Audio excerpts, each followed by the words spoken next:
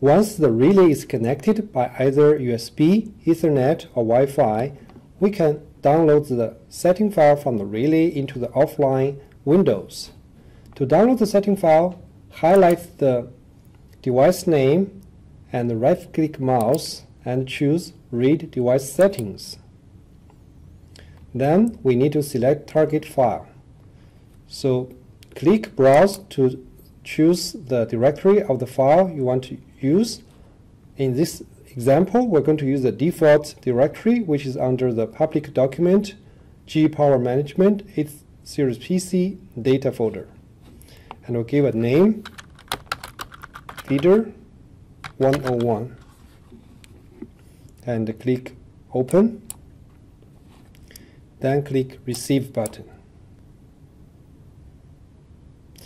Now we see a message box reading setting file from the relay and also the progress bar is moving.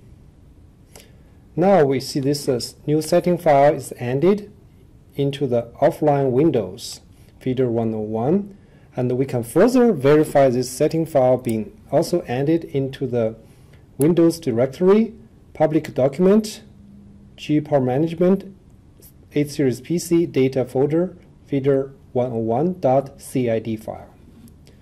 So that's how we download the setting files from the relay.